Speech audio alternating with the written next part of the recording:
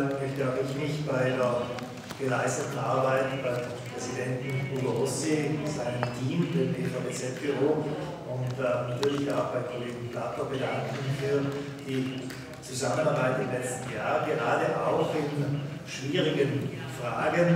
Äh, es ist ja gemunkelt worden, äh, dass die Regio an der Frage der Brennergrenze möglicherweise äh, jetzt scheitern könnte gar.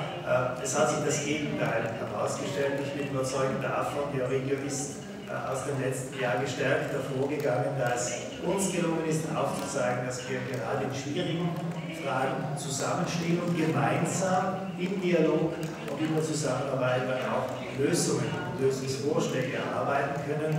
Und wie es schon betont worden ist, dieses gemeinsame Auftreten hat sicher dazu beigetragen, dass es eben äh, zu dieser verstärkten und verbesserten Zusammenarbeit zwischen Österreich und Italien gekommen ist in der Frage der äh, Migration der Flüchtlingsbewegungen und äh, dass dementsprechend jetzt die Lage am Brenner auch ruhig ist. Gilt natürlich, das aufmerksam weiter zu verfolgen und entsprechend auch gemeinsam weiterhin, äh, falls nötig, äh, aufzutreten und gemeinsam Positionen zu beziehen.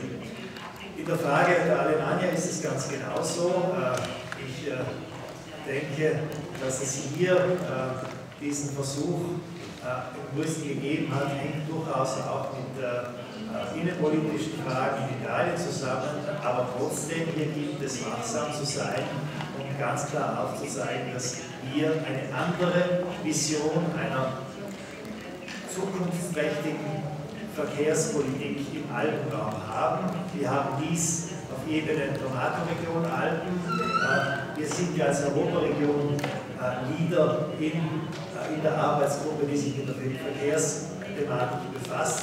Wir haben das aber auch insbesondere als Europaregion.